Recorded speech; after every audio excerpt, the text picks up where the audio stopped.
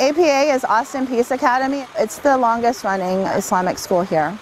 In Austin, Texas, it was one of the first ones that used to be downtown where the university is located.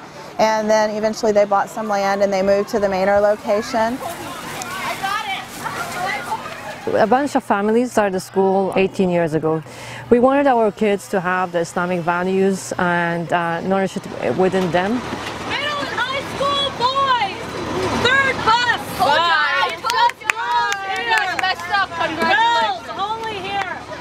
Kids that go on to different schooling system or public school system, they're really afraid, especially after 9-11, to say they're Muslims because they're afraid of being bullied.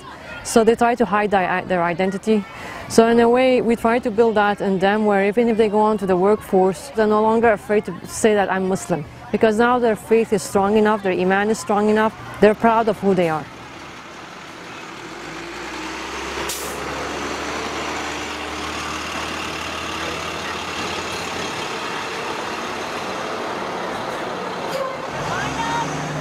Boys, line up! Stay in one group before we go.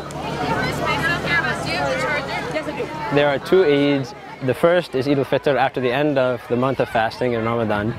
And then this is the second Eid, Eid al-Adha, which celebrates and commemorates uh, the faith of Abraham.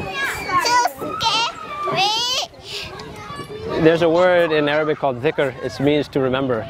So Eid is a dhikr. It's, it's, a, it's a moment where we remember God, we remember the blessings that He's given to us. And the exchange is that we owe a certain amount of obedience to Him.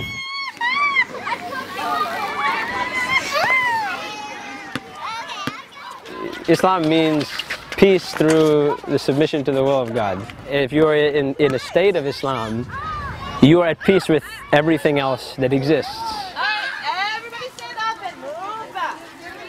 Allah says in the Quran that one of the greatest examples of obedience is a tree. Because a tree does everything it was created to do. It makes shade. It stands tall and it provides certain benefits for the human being, right? But the tree doesn't question Allah. Allahu Akbar. Islam gives that same advice to the human being. The difference is we have a choice. Right? We have a choice to either follow the guidance or, or not. Allahu Akbar.